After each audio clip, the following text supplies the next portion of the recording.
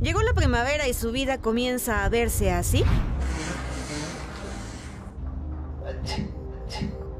En esta temporada es común que algunas personas presenten ardor en los ojos, escurrimiento nasal, dolor de cabeza o tos. Y es que algunos árboles producen polen, lo que desencadena alergias estacionales como la alergia de primavera. Las alergias estacionales son las que se presentan típicamente ya sea en la temporada de invierno o en la temporada de primavera. Para los pacientes que tienen alergia en la nariz, pues eso no es una buena noticia porque significa que seis meses del año se la pasan con la nariz tapada.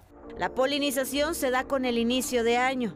En la Ciudad de México afecta a casi el 8% de la población. Sin embargo, la cifra aumenta al 40% en todo el país, según datos de la Organización Mundial de la Alergia. Además del polen, este tipo de alergias estacionales podrían complicarse por los altos índices de contaminación. Es que la contaminación, como te decía, el ozono o las partículas pequeñas inflaman la vía aérea y eso detona que el paciente, si ya tiene un proceso de base alérgico, se agrave. Por eso dicen, es que en, primavera yo me agravo, claro, sol, contaminación, rayos ultravioleta, ozono, entonces eh, eh, este, inflaman la vía aérea. Debido a que los síntomas son muy parecidos a los de un resfriado, puede llegar a confundirse con otros padecimientos como la sinusitis.